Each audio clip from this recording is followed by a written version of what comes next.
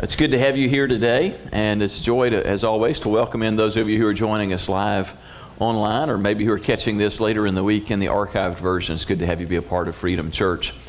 Uh, we all are familiar with the, the term wounded warrior. That's uh, something that in the last 12 or 13 years has become uh, well known across the country. This organization that is designed to minister to and, and help meet the needs of the men and women who have been overseas, been in battle, and who have suffered significant injuries and are going to have a difficult time transitioning back to normal life. And so it's such a great organization that is designed to help address those specific wounds and challenges that it brings with it. Well, uh, that's a really cool thing in the physical. Well, we're going to talk today about wounds that many of us carry, not because we've been on the battlefield but because of what life has done to us. And we're going to do that by looking together as sort of the original wounded warrior in Scripture. If you haven't been here the last couple of weeks, I'll tell you that we are uh, in a summer series.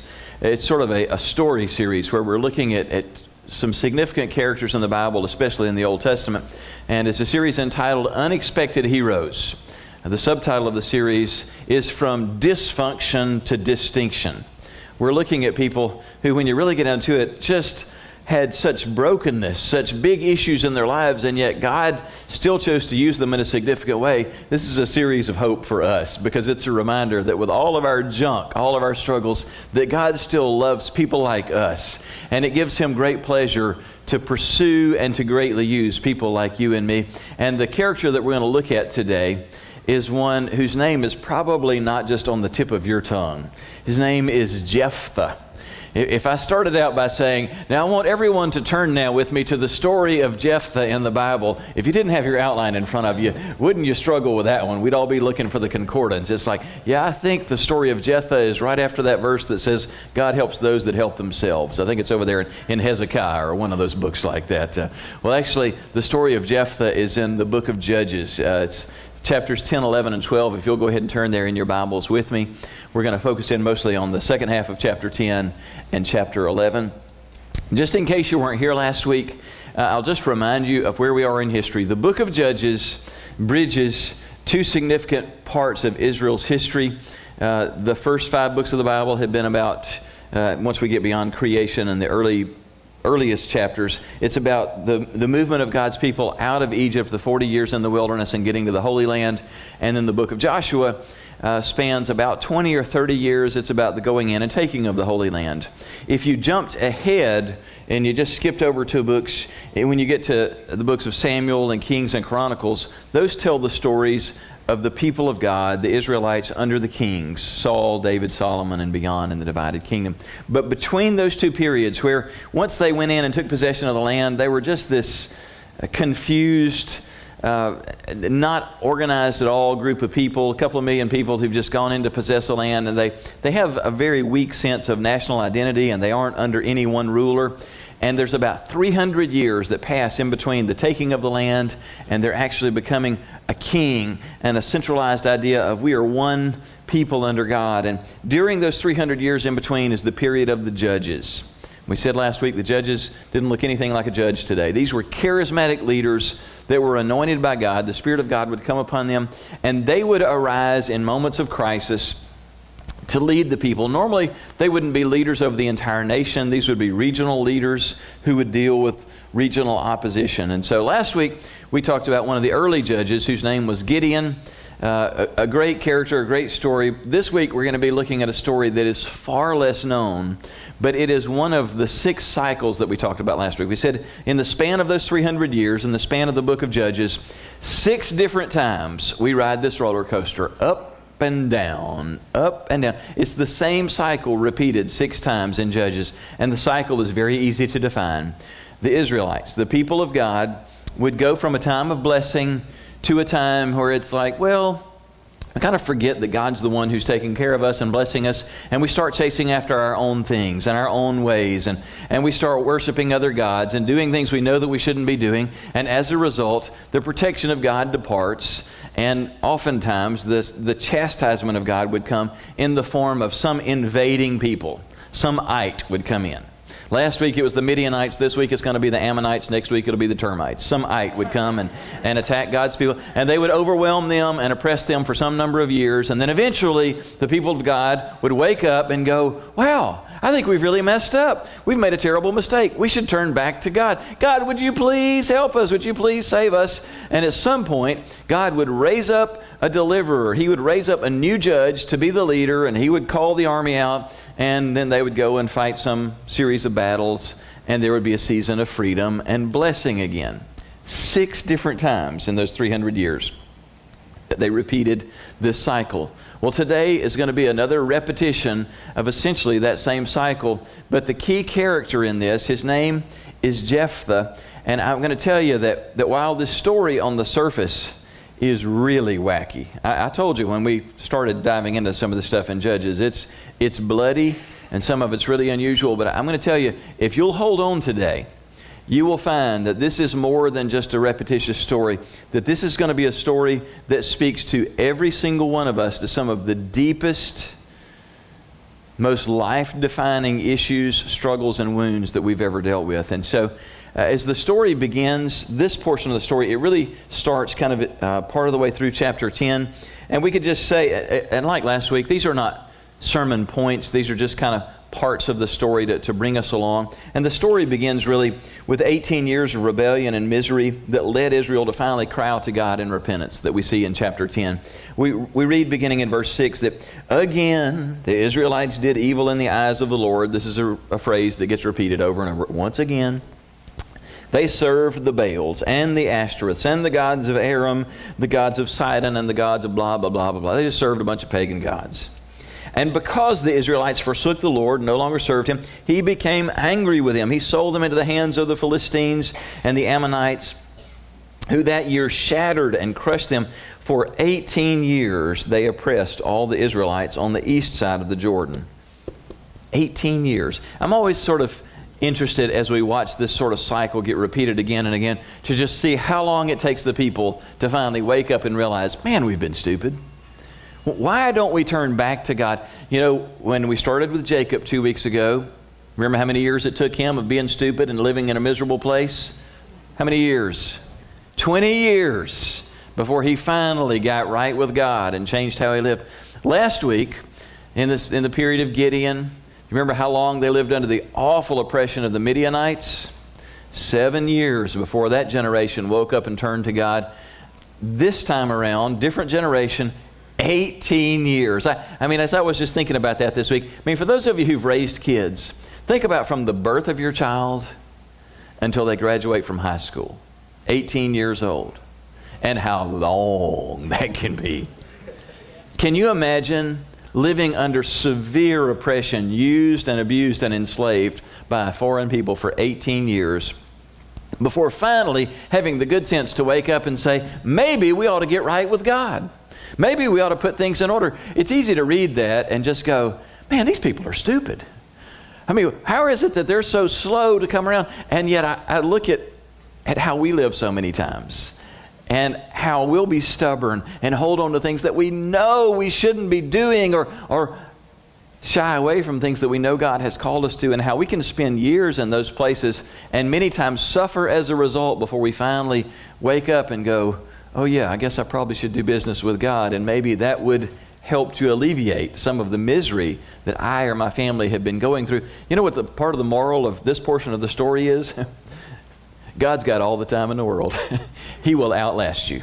He will outweigh you. If you think that you and I are going to get our agenda over on God, go back and read the stories because He will wait just as long as it takes. And He will allow just as much pressure as is necessary to bring change in us. Well, it, it, you know, the cycle repeated itself once again after 18 years of misery.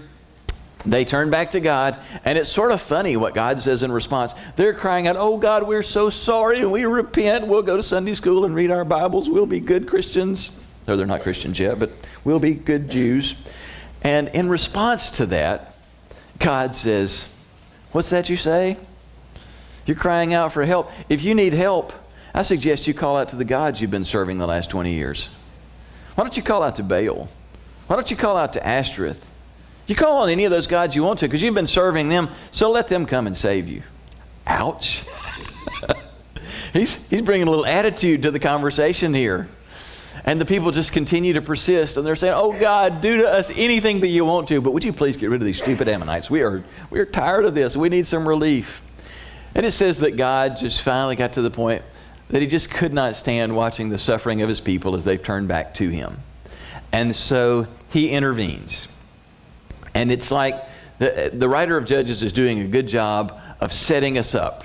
So now God's about to do something. What's he going to do? And then he just sort of goes, okay, hold that thought, freeze. He's, we know he's going to raise up a deliverer. It is the book of Judges. We're about to get a new judge. But now, just like any good movie or any good book, now we're going to stop and we're going to back up and we're going to give you some backstory about the deliverer. His name is Jephthah. And so the next portion of the story is we introduce to you the guy that God's going to use in a big way, the guy with a strange name. And he begins chapter 11 by saying, and, and I, I, love how Peterson in the, the message just lays it out straight. He says, Jephthah the Gilead, Gileadite was one tough warrior. He was the son of a whore, but Gilead was his father. That's pretty straight talk, isn't it? Meanwhile, some of you are going, Is that in the Bible? It's right there. Meanwhile, Gilead's legal wife had given him other sons. And when they grew up, his wife's sons threw Jephthah out. They told him, You're not getting any of our family inheritance. You're the son of another woman. So Jephthah fled from his brothers. It is a very tragic and painful beginning to the Jephthah story. That we, we don't know a great deal beyond the fact that his mother was a prostitute. And his dad was a respectable man, at least some level of respectable. You have to bear in mind, in those days, men could get away with a lot, and women had so few rights. It wasn't like a wife could particularly protest that her husband is out enjoying himself with a prostitute. Well, he actually gets the prostitute pregnant, and he does the semi respectable thing of he at least accepts that he is the father of the child that this prostitute has. And so he takes him in and you know embraces him as his son at some level embraces him. But he has other sons by his actual wife, and as these kids are coming up, there's no secret about the fact that Jephthah has a different mother. Not just a different mother, he has a prostitute for a mother. And so the other brothers despise him for it. You know, you can only imagine the things that they said to him and called him. The, the writer here says that they referred to him as the son of another mother. Well, that's probably the nice, nicest thing they called him. You son of another mother is probably the, the nicest slur. I mean, you can just only imagine the abuse that he took to the point that apparently before it was even the time and age that he would you know, go out and live his own life, that he just fled. He fled to escape the abuse. His dad wouldn't protect him. Who knows where his mom is in all of this? All of this junk going on in Jephthah's life is shaping him to become a particular kind of man. And, and we can just say to sum up this portion of the story that terrible mistreatment created both major strengths and dysfunctions in Jephthah's life. He's just deeply wounded. I mean, think about the things that are going on from these earliest days, all the different types of rejection and wounding that are taking place. I mean, okay, he's watching his mom, and in his mother, he sees anything but a picture of stability and real intimacy, right? I mean, watching his mother sleep with a different man every night. He's getting a picture that is anything but love. And that, that's his picture of a relationship. On the other hand, he's got a dad married to another woman, and dad sort of accepts him, but not as a full fledged son. And when the brothers and others are abusing him and just doing the awful things that kids can do, dad won't protect him. And when it finally comes down to it, life is so miserable at home that he just has to run away and make it on his own when he's not old enough to be doing that. Can you begin to imagine the deep wounds that are being left there? I mean, he knows nothing of security. He knows nothing of real love and acceptance. And so what winds up happening is he does develop one great strength. I mean, how does the story begin? Boy, that Jephthah, he was one great warrior. What's the one thing Jephthah learned out of all that? Well, everybody's just abusing him verbally and probably physically with these brothers, he just learned how to fight. He learned to be just as tough as a lighter knot. But in that, man, he learned a lot of other stuff. He learned a lot of unhealthy stuff because of how deeply he was wounded. Now, here's the thing that I want you to consider this morning. Probably every person, but at least most every person in this room, watching and listening online, is carrying some kind of woundedness. Many are carrying some type of really significant, deep wound. I'm just going to go ahead and tell you that these most likely did not come at the hands of a school teacher or a good friend or a casual acquaintance or a Sunday school teacher. The kind of wounds that I'm talking about, they came through a parent or a spouse or a fiance or possibly a sibling. For some, they came from through some other person that you should have been able to trust, but who did the unthinkable to you. And unfortunately, many of us feel like because of that wound, I'm the freak in the room. Everybody else here is normal. Everybody else here is okay, and I feel so broken because of this thing that I know is not right in me. And that thing comes from a variety of different sources. For some, it, it comes from something like having been physically or sexually abused while a child or an adolescent. That always leaves a terrible wound. It's not the person's fault. It's not the child's fault. It's not the teen's fault but they walk away with a terrible wound in their heart. Some listening have a terrible wound as a result of having grown up with an alcoholic parent or a parent who's an addict. Maybe your dad just drank all the time or was a binge drinker. Maybe mom was hooked on pills. And as a result, their behavior was really erratic, and, and the ways that they tried to express love got really twisted into something that wasn't very loving. And it's impossible for you to walk away from that without bearing very deep wounds as a result. Some bear the scars and wounds of having had an absent parent, mom or dad that bailed out, or there was, there was a divorce, and one of them was just gone. And even though from a distance they were nice, maybe, it can't change the fact that their absence on a daily basis in your, basis in your life leaves a deep wounding. No way around it. For some, it wasn't apparent. For many, the deepest wound came through the person that you gave your heart to. You were going to love them for the rest of your life. They were going to love you forever. They were going to be your best friend forever. And that love got violated and you felt deeply violated. Some of the wounds that we carry are self inflicted. Sometimes we're the ones who've done to others. And unfortunately, as we'll see in this story, this wounding thing is cyclical. Wounded people wound people, hurt people hurt people. People who carry terrible, deep wounds that don't heal over time, if something isn't done to address that, will wound other people. We're going to see in this story three generations that just pass it on from one generation to the next.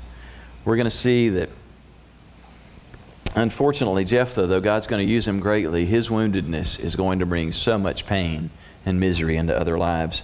The next piece that we get to in the story, as we move on down the line in verse 3, says, so Jephthah ran away from his brothers and lived in the land of Tob. Everybody say Tob. Most of us have been to Tob. He goes on to say, worthless men. Everybody say worthless men. Oh, worthless men. We all know some worthless men, don't we?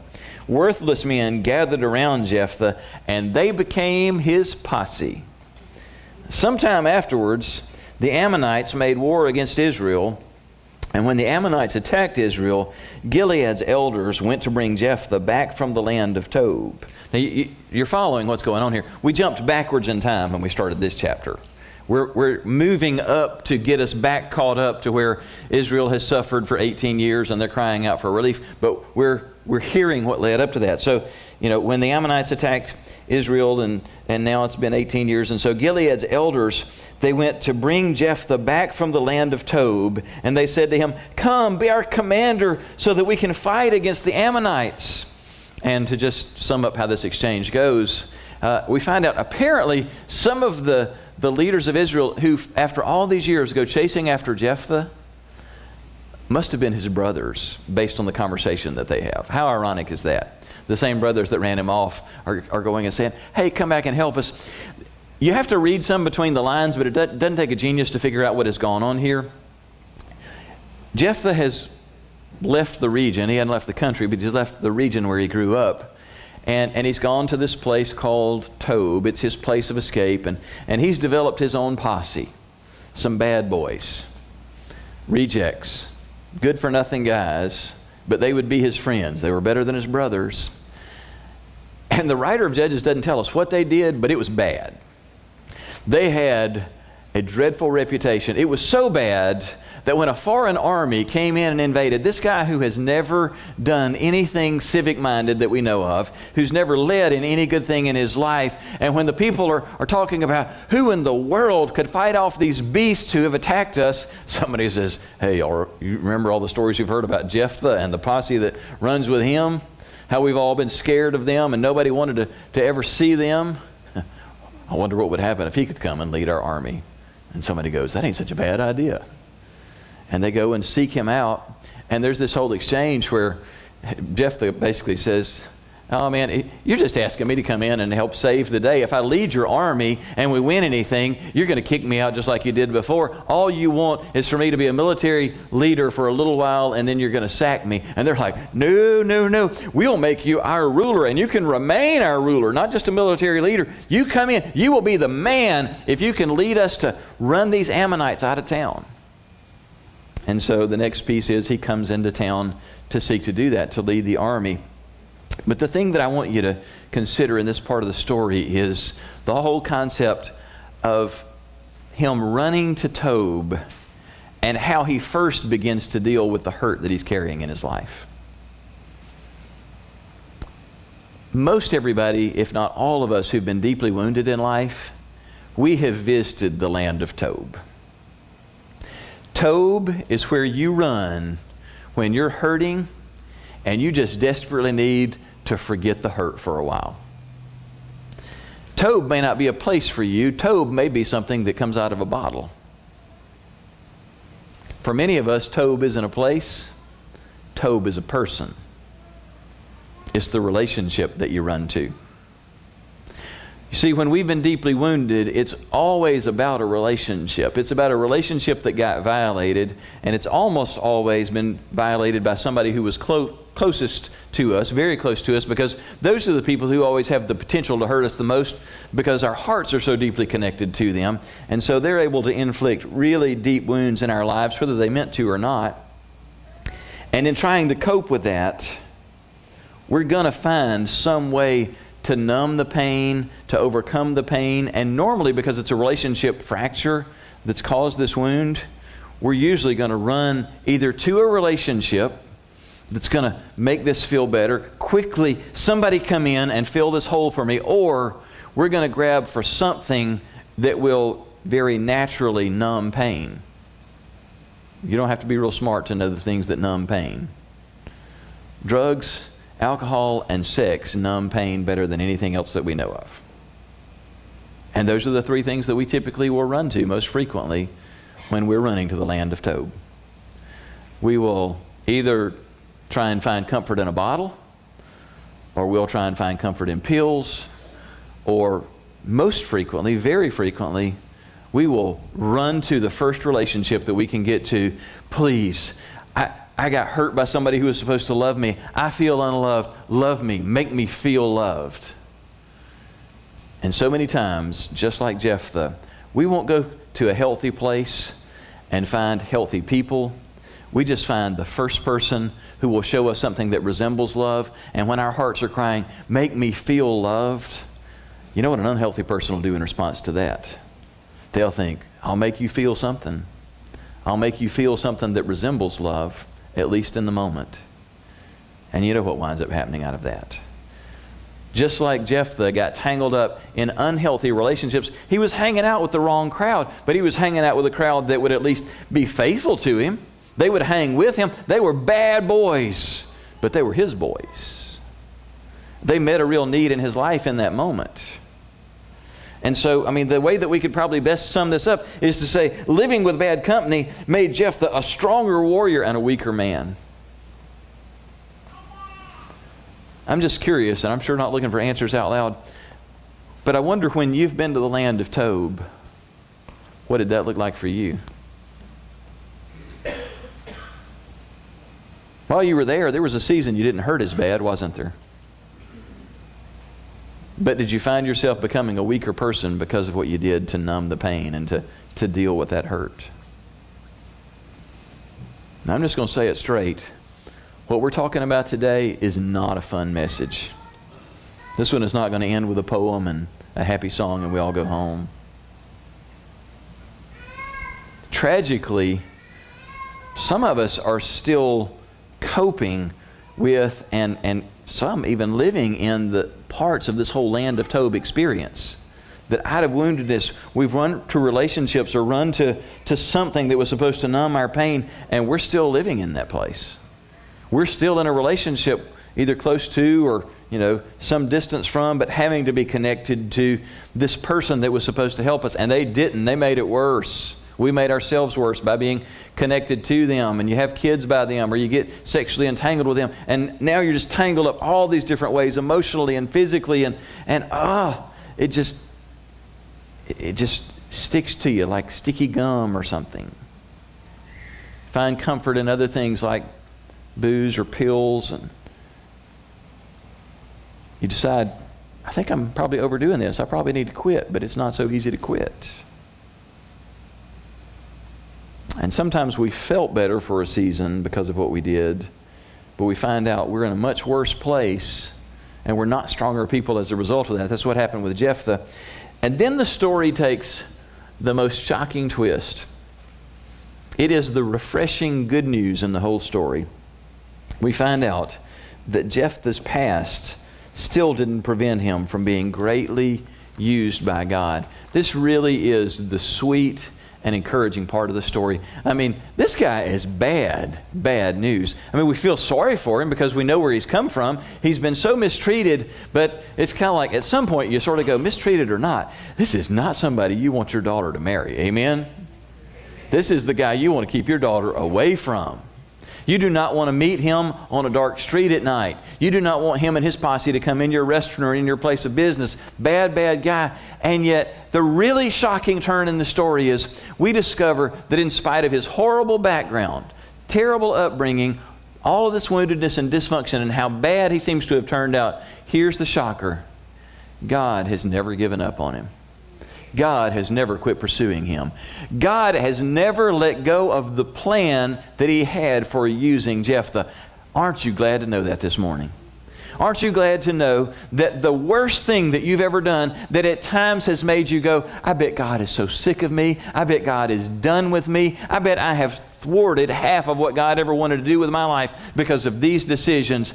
Jephthah's story is a reminder to you and to me God ain't done with you. You, don't you believe the lies of the enemy that God has just passed you by because you have screwed this up so badly? Even Jephthah, in spite of all of his junk, God was saying, I have a plan and I am still pursuing you. We read in verses 29 and following of chapter 11. As Jephthah has now, he, he has taken on the mantle of, of leading this whole huge group of people He's never done anything like this before. He's been a reject. And now he's actually dealing with the king of the foreign army. He's dealing with the head of the Ammonites. And they have this exchange, and it's clear they're going to have to fight it out. There's not going to be a diplomatic solution. And so now he's about to have to lead an army in battle against an overwhelming opponent. And all of this is sinking in on him, and he's realizing, ooh, this is a bad spot to be in.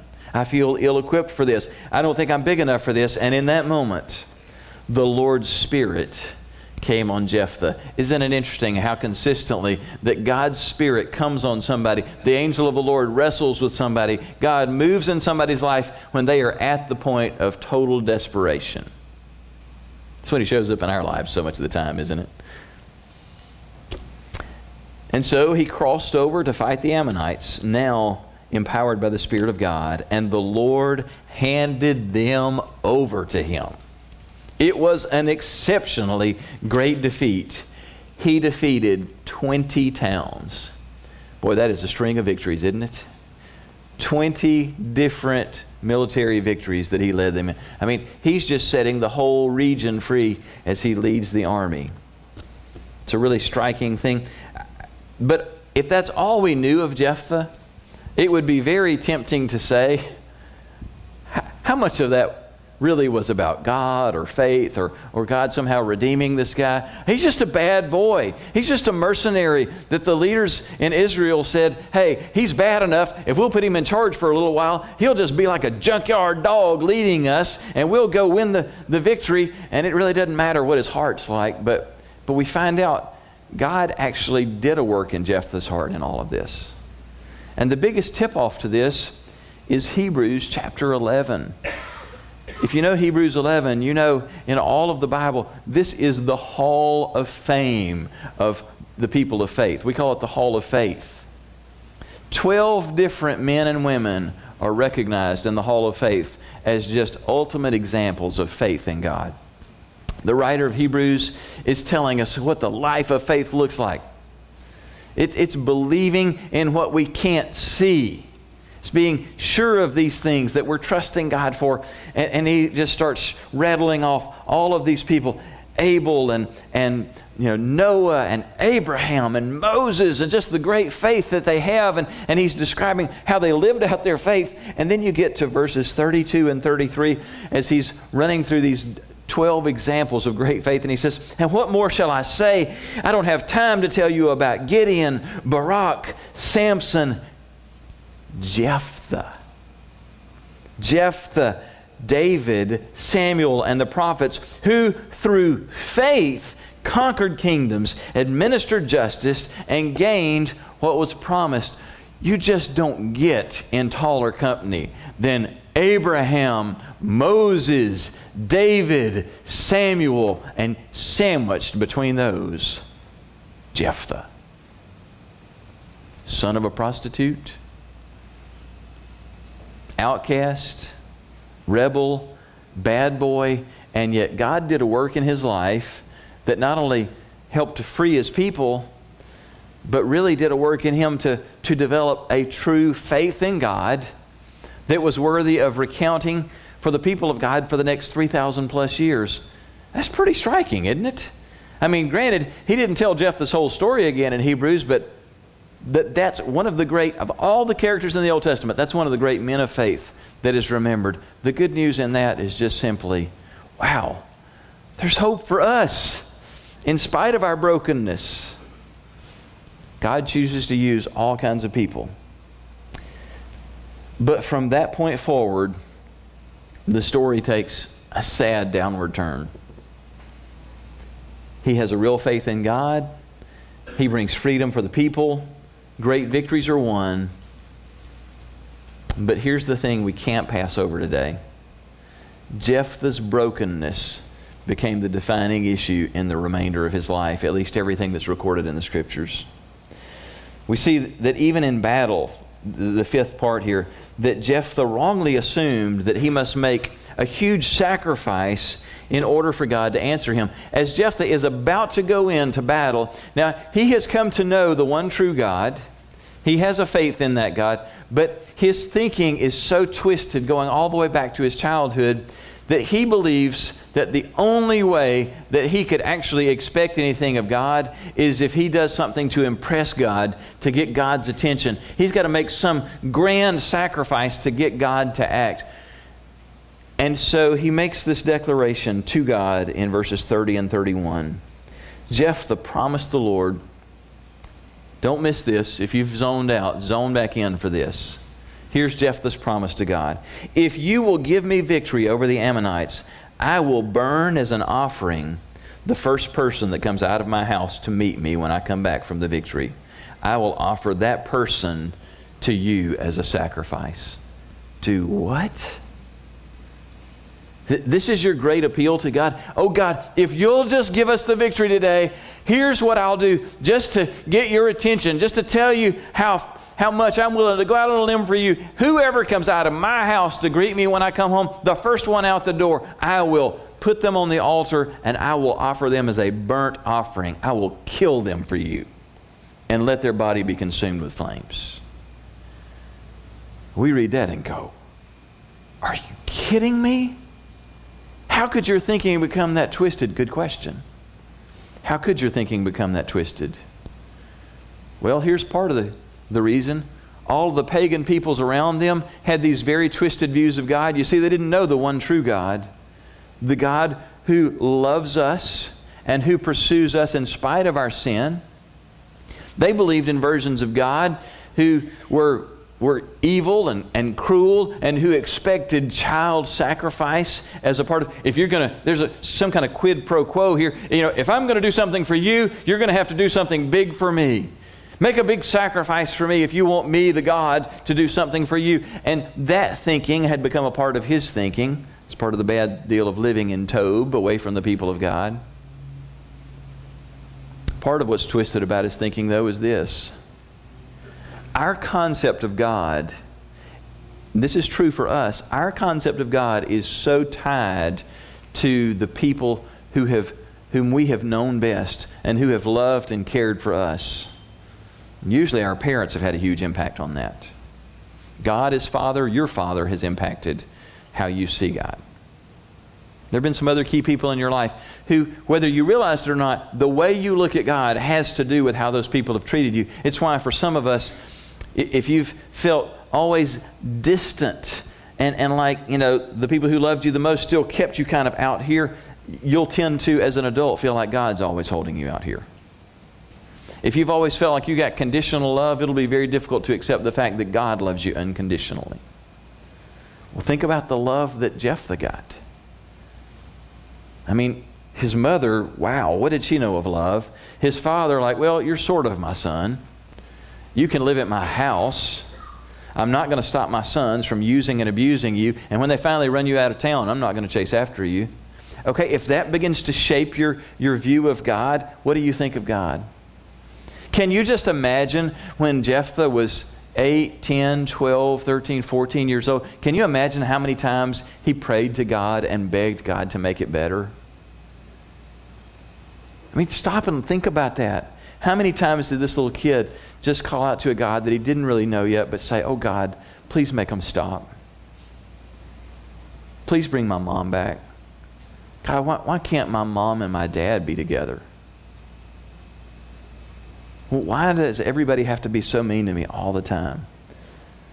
God, why does somebody not love me? How much must he have felt unloved by God because he felt so unloved by the people around him? So it shouldn't surprise us a little bit that when a grown up Jephthah is put in a desperate situation where he knows that he has to call on God, that all of that thinking doesn't suddenly go away.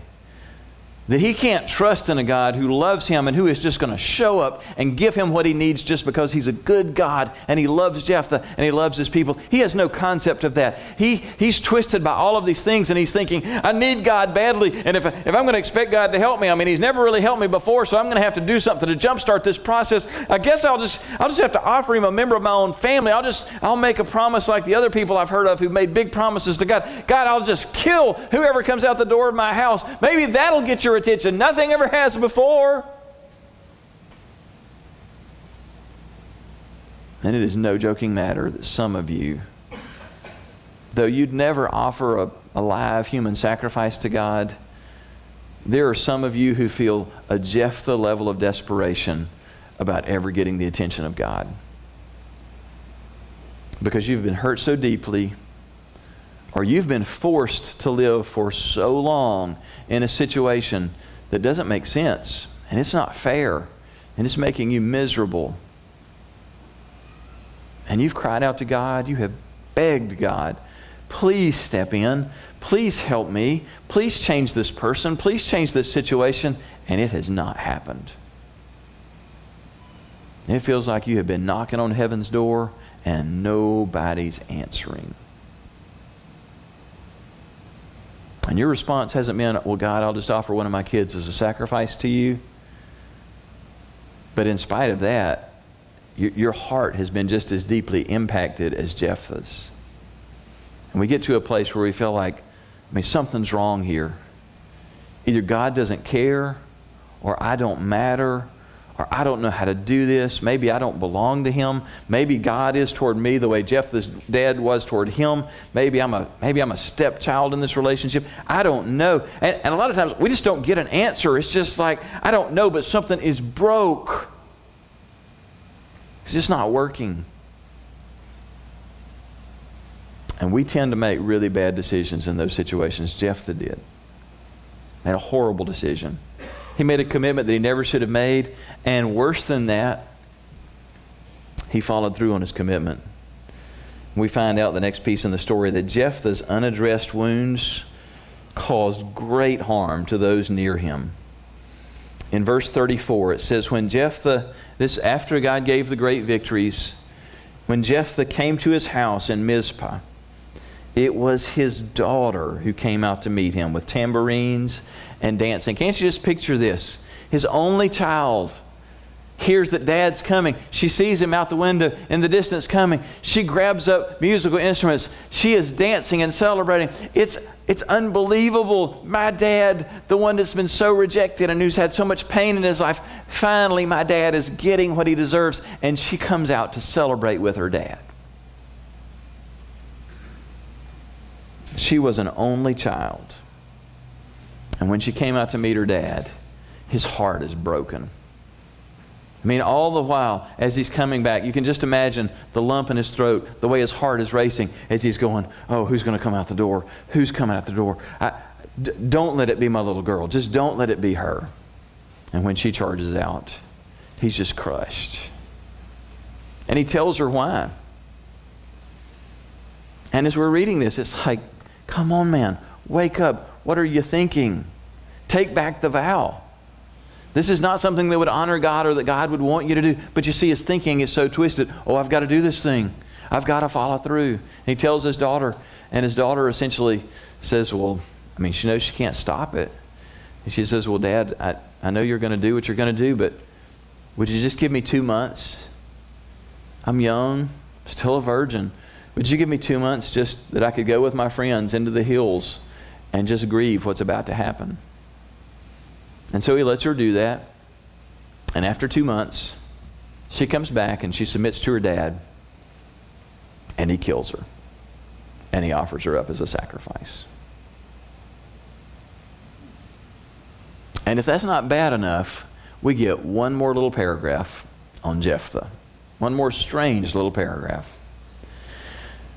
The Ephraimites, you see, Gilead's not a tribe, it's just a region that's part Manasseh, part Ephraim. The Ephraimites say, Hey, we heard about the great victory that you just won. You're getting all the glory. We didn't get to take part in that. We're pretty ticked about it. You didn't call on us. So we're coming to burn your house down. Sounds like the big bad wolf talking, you know. And Jephthah is not a healthy thinking person at this point. And he's pretty much like, uh, I don't think so. And he says, Oh, I asked y'all for help and you wouldn't come and help. There's no record of that, but we don't know if he's lying or telling the truth. And so rather than talk through this, Jephthah's like, I'm not taking anything off these people. I don't care if they are my own people. So he calls out his own army, his own posse now, and he's like, We're going to do battle with them. And he goes and he wins a great victory. Maybe, maybe he could have avoided that. Maybe it was necessary. But the really wicked twist in it is after the army that follows Jephthah goes and fights with the Ephraimites and they, they win a victory, he circles around behind and he sets a trap at the ford of the river where the people who are who are fleeing they're you know the ephraimite army you can just imagine they're like what were we thinking? What are we fighting about? We're fighting because we didn't get called out to the first battle? Duh. I mean this is not even a standing army. This is just ordinary people who come out and fight in times of desperation. They're like, forget this. We're going home to our families. We're done with fighting. They're just trying to retreat and get back home. And Jephthah says, no, come on, guys. We know where they're going to go to get back home. They've got to get to the shallow spot in the river to cross over and get back home. So we're going to set up camp there. And one or two at a time, as they flee to go home, we're going to stop them and we're going to figure out everyone who's an Ephraimite so that we can kill them. And there's this bizarre little thing. Apparently, the Ephraimites spoke with a little bit of a different accent. And so there's this little trick that they do. Every time they catch somebody at the ford in the river, they would say, Hey, say the word Shibboleth. For some reason, people from Ephraim, the, the sheen, the Hebrew letter that the word started with, could be pronounced as SH or S. Ephraimites would say it with an S. And so anybody who, when they said, hey, what do you call a so-and-so? And the answer is shibboleth. If they said sibboleth, they'd be like, you're an Ephraimite, kill him. 42,000 men died. That's a large part of the whole makeup of that tribe, the, the male makeup of that tribe. 42,000 put to death in a trap set by Jephthah. And that's the end of the Jephthah story. Misery, unnecessary loss, pain inflicted by a broken man whose wounds were never addressed. I mean, the conclusion of the Jephthah story is just one verse. Jephthah led Israel six years, and then Jephthah the Gileadite died, and he was buried in a town in Gilead. Bottom line Israel got some relief for a little while. Some people got some relief, but to read the whole of the story, you realize, wow, this man who knew God, who had a faith in God, he had such unaddressed issues in his life that he hurt or killed as many people as he ever helped or ministered to, maybe a lot more. And tragically, there was nobody he hurt worse than his own family took the life of his own daughter.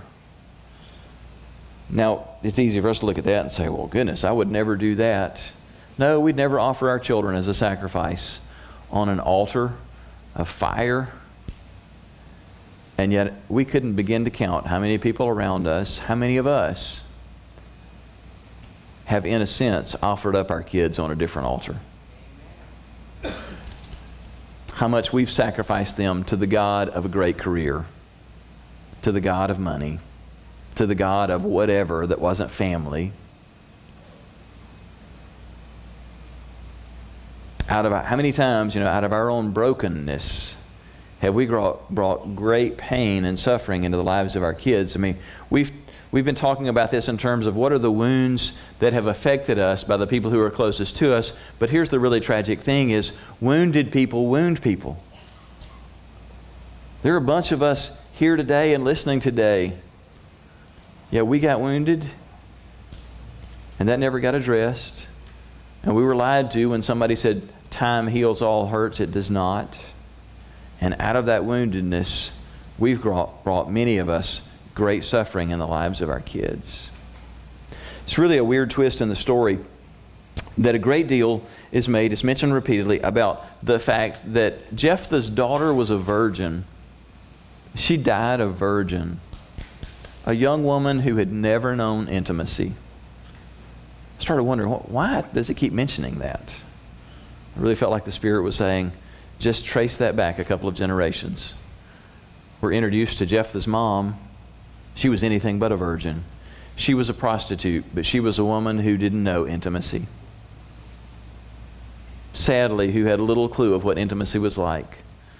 She was living out of brokenness had a baby with a man who we don't know what his deal was, but he obviously didn't know how to love unconditionally, didn't, didn't model love well to their child, passed all this woundedness and brokenness onto their son Jephthah, who then he didn't know how to love and protect his own daughter. He wasn't protected. He wasn't loved the way that he should be. And when he made a stupid statement, he made a stupid commitment that he never should have made and that he should have just zeroed out and canceled out and simply asked forgiveness for, for making a rash promise instead would watch his own daughter die rather than to retract what he had said and look bad in the process. and the daughter dies, knowing no intimacy, a victim of brokenness, just like her dad never knew real intimacy, a victim of brokenness. His mother, a victim of brokenness. I mean, what situation led her to become a prostitute? Do you begin to have a feel for how this thing just passes from generation to generation unless somebody comes along and says, I am not going to let this continue in my family line? I'm not going to let my woundedness cause me to do great harm to my children, to my spouse, and the circle of people who are closest to me. I'm going to do something about this. The whole story is set in Gilead. It's not a place we hear much about in the Bible. It's just a little region just east of the Jordan. There's a mountain there. Gilead, one of the few things we ever hear about Gilead is that uh, there was a particular plant that grew there. It was really rare. It's written about a ton in ancient history. Particular kind of balsam tree. And the sap from, and it's really more of a vine than a tree, but, but the sap from this stuff was just considered almost magical. It had such medicinal power to bring healing. It was known as the balm of Gilead. You've probably heard that phrase before. It was incredibly rare. In fact, some of the, the writers during the period much later, during the uh, period when the Romans were in control, vast Roman Empire, and it's recorded that there were only two places in all of the Roman Empire where this plant grew that you could extract this uh, the sap that had such powerful uh, healing uh, impact that you could put it on a wound and it would have such healing power. In fact, it, it's recorded that there was one little grove of 20 acres and one much smaller garden that in all the Roman Empire, these two little groups of balsam trees were the only place in the whole Roman Empire that it could be found. It was incredibly valuable. From that, you would get the balm of Gilead. It was like the super penicillin in the ancient world. It's interesting to note that while Gilead, the story of what took place in Gilead, it is a story of woundedness, of pain, suffering, and loss. And yet, out of this same place comes this source of, of such great relief and of great healing. Many, many years later, centuries later, Jeremiah would write in another time of great distress. In Jeremiah 8:22, he said, "Is there no balm in Gilead? Is there no physician there? Why then is there no healing for the wound of my people?" He's crying out in a figurative sense, but he's talking about something that the people understood. It's like we, we are a hurting people. We, we are such a broken people. And, and Jeremiah, known as the weeping prophet, he's crying out on behalf of the people of God and he's saying, what is, What's wrong with us? God, why, why can we find no comfort? Why can we find no healing? We, we just live in misery and we generate more misery. Oh God, is there no balm in Gilead? Is, is there no healing for us? Why are God's people not healed from their wounds? Jeremiah's words have never been more fitting than they are today. God's people are wounded. We are. I mean, the stuff that we read about that's broken in American culture, the thing that's staggering is how the numbers inside the church look so exactly like the numbers outside the church. The things that are causing such hurt. I mean, you, you name it. I'm not trying to pick on anybody, but whatever you want to name. Divorce or pregnancy out of wedlock or alcohol abuse or you know, drug abuse or whatever, all addiction to pornography, all of these things that get us so tangled up and messed up, which, by the way, most of them wind up being ways that we attempt to medicate the deepest wounds in our lives. We use the wrong stuff as freely in the church as people outside the church do. And we ought to be praying the prayer of Jeremiah. We ought to be at least asking the questions. Is there no balm in Gilead? Is there no healing power? Let me translate that question. Is there no healing power, no healing salve for the people of God among the people of God? Why is it that God's people are so wounded without remedy? Don't you think that's a good question? Let's just strip everything else away and get down to the real truth.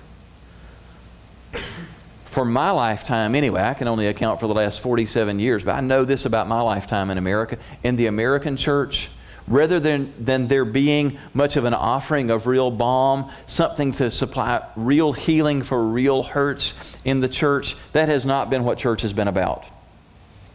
Church has been a gathering of people who either had it together or we could at least get it together for Sunday morning and look good on Sunday morning. And the main requirement to being a part of Sunday morning was get your act together, put on your Sunday best, and when somebody asks how you doing, you say, "Blessed, brother, how are you doing?" And that doesn't help broken people at all. Hurting people go home hurting. And worse still, you want to know what hurting people do to that? They stay away. Because they say, You don't have any balm in Gilead. You, you don't have anything to soothe and really heal my hurts. So hopefully, time's going to take care of this. And tragically, for the deep wounds, time does not. Don't you know that's the truth? If time would have healed all hurts, we'd be great people by today, wouldn't we? We're still hurting. We're still operating out of this woundedness. What are we to do? Is there no healing for God's people? There is healing.